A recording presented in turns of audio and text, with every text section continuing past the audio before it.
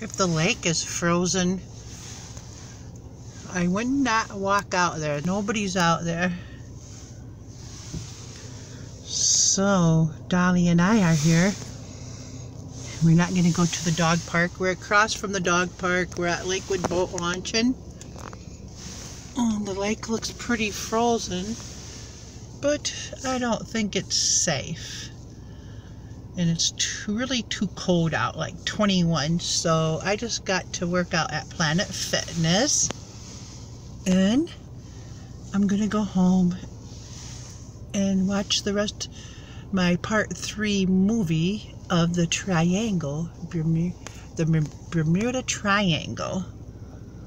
There's a, on YouTube, there's part one, part two, and now I'm to go home and watch part three. Here's just a picture of Chautauqua Lake, frozen lake.